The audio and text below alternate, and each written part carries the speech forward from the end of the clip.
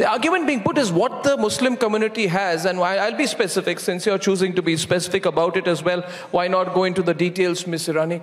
That, that the feeling is that you have come in as a minority affairs minister with a preconceived agenda, and that you are slowly, as the elections approach, as the elections approach, you are slowly unfurling that agenda. Can you give me the evidence as minority you, minister? What have I done? You probably you follow an agenda on things. No, give me evidence. Oh, Don't uh, give me Congress whispers. For example, the what you're doing with the Waqf board. What am I doing? You're, you're taking it away. You're Who taking said? away.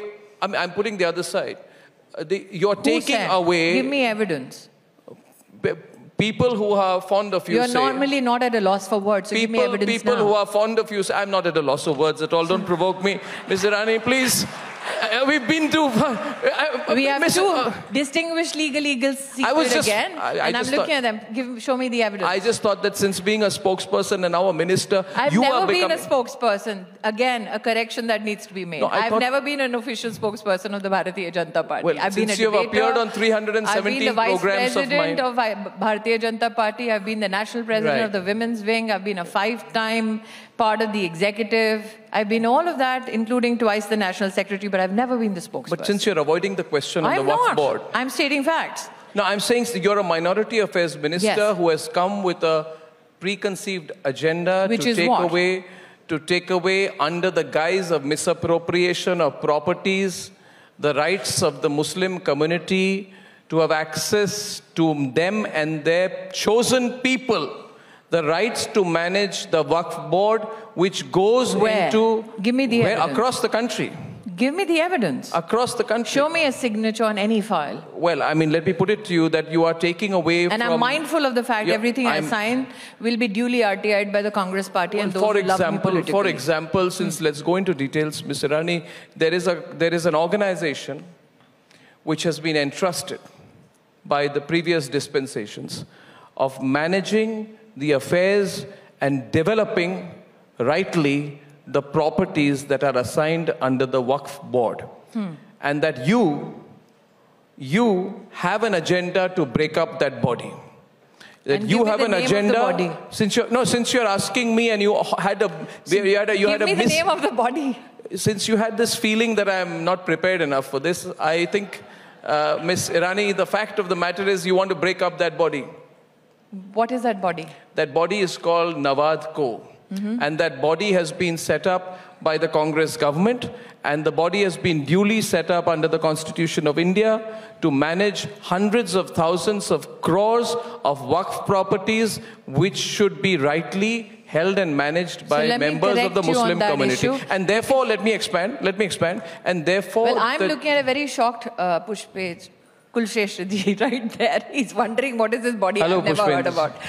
Uh, let me correct you on that issue. There is an institution called Nawadco. Correct. It is uh, made, uh, in fact, made live by Sri Manmohan Singh in January 2014, just before the general elections. Your information is correct that Nawadco is the only Section 25 company in the country that has been given the mandate to take money, uh, especially from the taxpayers, to help maintain, develop, economically resuscitate private properties. That it is an anomaly is true. That there is no other Section 25 company in the country where taxpayers' money is used to maintain personal private properties of a particular religious dispensation in the country. But you and I both know that I will not be taking administrative decisions in a summit. I can only assure you this because your summit talks about the time of transformation. Right. That since this right is denied to every other religion in the country, I will bring it up to power. Please, uh, repeat that. That you will? That you will bring it? I'll create equality.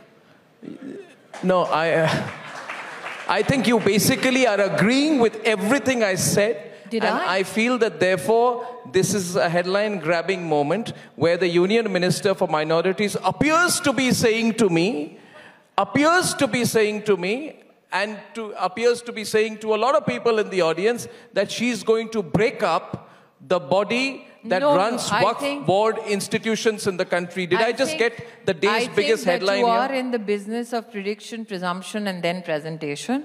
I'm not in that business at all. I have said what I have said. We need to recognize, Arnab, that there is a cauldron in which the Congress party wants this country to boil in, and that cauldron is called religion. Do not set fire to things. Who's setting fire? I will only say. You think an- Prime Minister Manmohan as Singh a- as in a- 2014 Yes. was setting things on fire If- by setting up If I Nawadco? can recollect correctly, the date of establishment was the 28th of January 2014. I wonder why Dr. Manmohan Singh felt that a Section 25 company has to be specifically created to look after private properties of a particular religious community. I have never spoken to Dr. Manmohan Singh about it, but I believe uh, that there is a sense of outrage about it, as you have rightly exhibited it. I cannot be callous and irresponsible and make pronouncements about what am I to do with that particular institution. I can only say this that I am sworn to uphold the Constitution and ensure that all Indians are equal under law. And I promise you that equality is all that I'll say.